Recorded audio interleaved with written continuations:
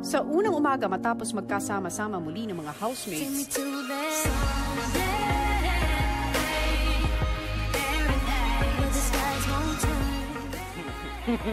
Na-miss ko dito, bro.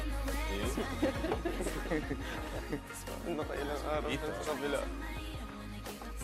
Good morning, beautiful.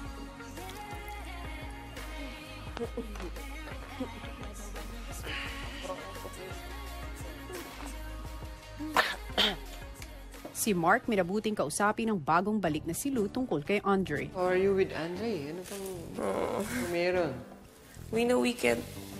Ano naman? Girl, Sa just, labas pa. just leave Taking time. something for yourself, man. Yeah. of course. Yun din sinasabi ng mom ko sa akin. Yeah. Habang ang mga boys,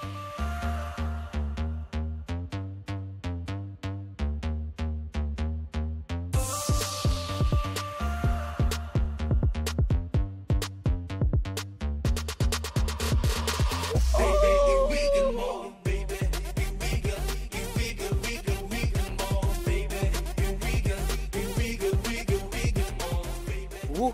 Sobrang mainit.